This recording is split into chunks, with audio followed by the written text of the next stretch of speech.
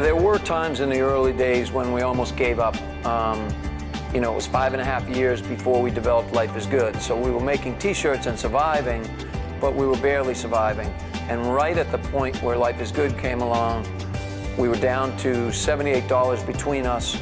We already had started uh, substitute teaching on the side um, just to pay the rent. And we were really this close to having to give it up. And then the shirts sold and we were off and running.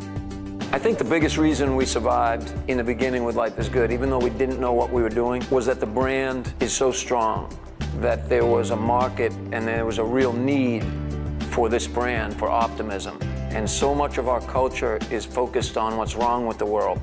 And so even though the mechanics of our business weren't good and we didn't know what we were doing, there was a demand. We found that people were really drawn to this simple optimism.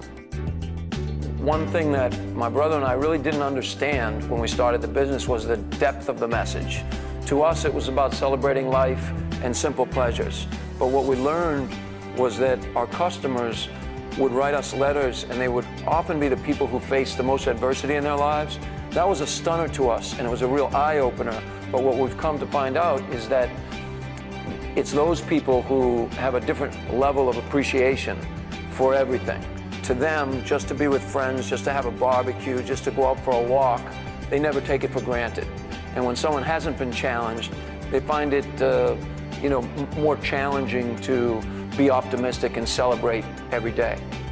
If you are interested in building a mission-driven business, there's two very important things. One is that you find an authentic need or demand in the market because you can have all the ideas you want, but if you don't have sustainable customers, you're not going to help anybody. Number two is I would strongly advise that you build the mission into the business from the beginning. If you're authentically helping someone and they believe that, then they will help you build your business. In the beginning, we started out to pay the rent. We really wanted a vehicle to sell artwork and a way to make a living. Along the way, we did a few charitable events. And that was a pivotal point for us because we realized that we could use this brand for positive social change. And we also realized it was really easy. 10% of all profitability of the company goes directly to kids with life-threatening challenges. Now the mission's gone from sort of survival to using the good fortune and being able to harness this brand and help children all over the world.